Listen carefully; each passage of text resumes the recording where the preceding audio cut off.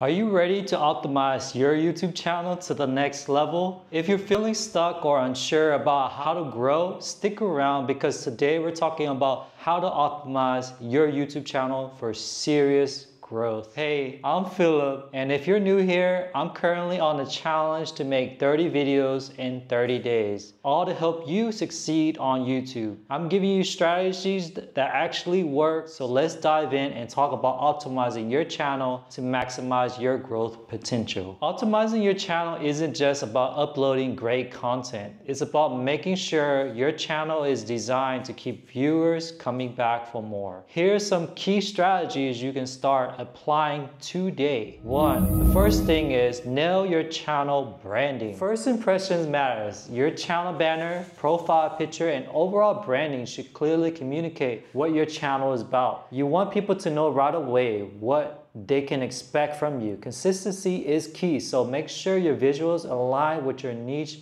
and content style. This gives you a professional look and builds trust with your audience. Personally, what I'm going through right now is I started off the channel called Run with Philip, but I felt at the time that when I took the trip to Cambodia, it didn't have anything related to running. So then I tried travel with Philip, but then I just, it was just one of those things where I felt it wasn't gaining traction fast enough. So I rebranded for the third time. Yes, I changed it three times. Nailing your channel branding. So I already know that I'm pivoting more towards creating content to help other content creators create content on YouTube. and so that's so important as far as having the right banner, fixing your about page, having your name is your brand. Profile picture right now is a picture of me and my wife because what a lot of people don't know behind the scenes, you know, I couldn't do what I do today it wasn't for my wife. So make your visual align with your niche. So if you're in fitness, maybe have some uh, pictures of gym equipment or you working out. Focus on not having too many items on the banner. Second, optimize your about section. Don't underestimate the power of your about section. This is where you tell new viewers what your channel is about and why they should subscribe be clear, concise, and highlight the value you're offering. Think of this as your elevator pitch. See the benefits, not just the features of your content. On the about section, uh, the way it has it set up is there's a certain amount of characters that when people land on your home page, they might not click the more link where they can see the full about message. So make sure whatever you want to be clear and concise at, in those first 50 characters, you need to make sure that is telling your audience what your channel is about. Third, leverage playlists for longer watch time. Playlists are a powerful tool to keep viewers engaged. Group similar videos into playlists so that when one video ends, another one begins. This increases your watch time, which is a major factor in YouTube's algorithm. Curating playlists not only makes your channel more organized, but also encourage binge watching, which the algorithm loves. The third one is, is very important. This really helped me with getting my watch time hours. Right now I'm at close to 1500 hours. Is that a megaphone at 9.30 p.m.? Oh, Cambodia, man. I thought if I record this at night, it would be a lot quieter than a day and less motorcycle. There's still motorcycles going on at 9.30.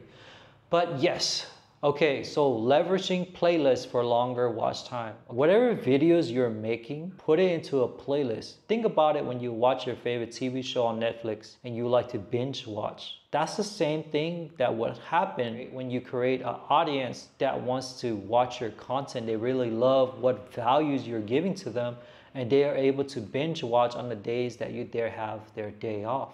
Fourth, optimize thumbnails and titles for clicks. Your video thumbnail and title are like your storefront window. They need to catch people's attention. A compelling thumbnail paired with a clear, engaging title can make all the difference. Avoid clickbait, but do be intentional. Use bold, easy to read text, expressive faces, and contrasting colors to grab attention. As for titles, aim for intrigue, pose a question or hint a solution. Have a purpose of what you're gonna do before you record. If there's one thing that I've learned is start with creating your titles and thumbnails first.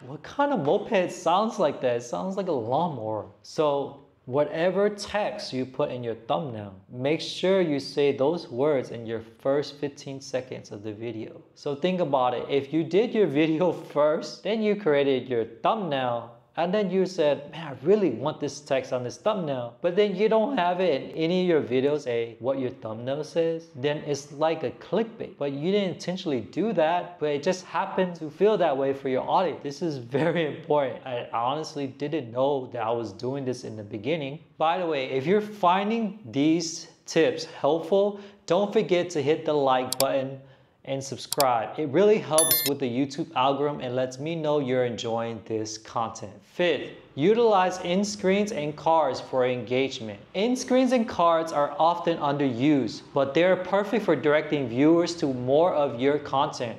Include an end screen that suggests relevant videos or a playlist. Cards are great for promoting other videos during key moments in your video keeping people engaged with your channel longer. As far as cards, usually are implemented in the middle of your video. You can put your card at 5 minute or 6 minute mark because normally your audience haven't even reached that far. Now it's like a bonus for those that have stick around. You want your audience to continue to stay on your channel. So that's why you implement end screen and of course you like I explained on how to write a script, you want to add a call to action at the end encouraging your audience to click on this video. So if you haven't watched the how to write a script, you can watch it right here. I'll put a card at this area. Six, pin comments for community engagement. Pinning a comment is a great way to highlight important information or encourage discussion. You can pin your own comment asking a question or thanking viewers for watching. Or you can pin a viewer's comment to boost engagement. This helps foster a sense of community and keeps people interacting with your content. Pin your audience comments. So it kind of encourage your audience to comment on your post because they'll see a, a rhythm that's going on that you're pinning their comment. Seven, engage with your audience regularly. Optimization doesn't stop at content. It extends how you engage with your audience. Respond to comments, ask for feedback, and build a relationship with your viewers. When people feel connected to you, they're more likely to become loyal subscribers the YouTube algorithm also notice when people interact with your content. So that engagement boosts your channel's growth. Respond to your audience comment. I can't tell you how many times when I respond to audience comments, I gotta subscribe the very next 10 minutes. So if you wanna gain more subscribers, respond to your viewers' comment. Put a heart. Eight, analyze your channel analytics. Finally, regularly checking your YouTube analytics is key to understanding what's working and what isn't. Pay attention to watch time, audience retention, click-through rates. Use this data to refine your content strategy and make informed decisions about what video to create next. Here's what I would say for new YouTubers. Don't get to the point when you upload a video and you're just like constantly refreshing the page every five seconds. Stop okay? I found that I get the most impressions when I don't look at my analytics. I already know before I published it, that's why you schedule your content, that I did everything I could and this is the best I got. Use your the, the A-B testing, the thumbnails that YouTube program has right now and you just load up three thumbnails everything is already set you don't need to change anything don't stress over it seriously guys it's, it's more to life than worrying about the YouTube analytics, okay? And it's 9.15 p.m. Today is day 18, halfway through this challenge. And honestly, I really wanted to throw in a towel. Earlier today, if you watched my previous video that was very detailed and a lot of edits needed to be done. And right after that, I made another video on how to create a thumbnail. And then right after I created that video, I had to edit it. And after I edited it, I had to create nine more thumbnails. I tell you what, man, there's so many times that where I question myself that how how am I going to get through this? And I think about you as the viewer that are watching this, creating content, and we're going through it together. And I really encourage to participate in this challenge with me. Start off with just doing seven days. And if you complete that seven days, try another seven days. I don't recommend doing what I'm doing and just putting out there that I'm going to do 30 videos in 30 days. As a content creator, there's a certain style that you want to produce a certain content and that requires a lot of edits. And so what I've learned from this is just take this opportunity to be more efficient on editing content and I've been very efficient. There's a lot of benefit in doing this challenge. I'm definitely a lot more comfortable on camera. No matter what time it is during the day, I don't use excuses. I just go about it and just focus on as you as a viewer. I think this is very important. I wish I had someone